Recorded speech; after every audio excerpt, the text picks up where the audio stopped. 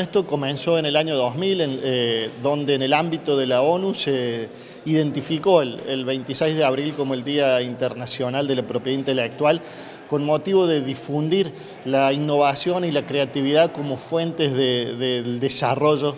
eh, de, los, de los territorios. En este caso en particular, la Organización Mundial de la Propiedad Intelectual, la, OMPI, de la Propiedad Industrial, la OMPI,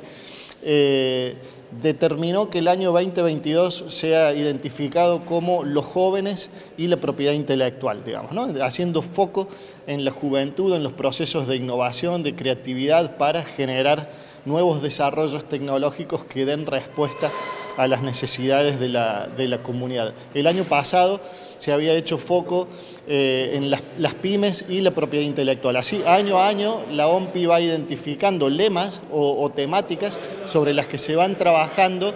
la propiedad intelectual generando difusión sobre la importancia que tiene la generación de estos activos intangibles para promover la innovación y la creatividad en la solución de los problemas de la comunidad. En este caso, la universidad, ¿cómo trabaja esta temática de la propiedad intelectual? Bueno, ya este, hay muchos años de experiencias en la temática, trabajamos en conjunto con los investigadores, en un trabajo en donde con los investigadores se generan las mejores estrategias para eh, proteger la propiedad intelectual en lo que se refiere a patentes de invención. Hay una participación muy fuerte del investigador guiado por eh, personas que están este, justamente abocadas a la propiedad intelectual en nuestra área y de esa forma nos ha permitido generar un, sistema muy eficiente en donde en poco tiempo podemos tener lista una solicitud de presentación de patente de invención. Por eso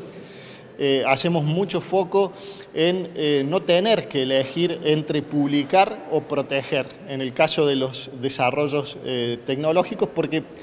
realmente se pueden hacer las dos cosas, digamos, ¿no? porque tarda poco tiempo el investigador con nosotros en un trabajo coordinado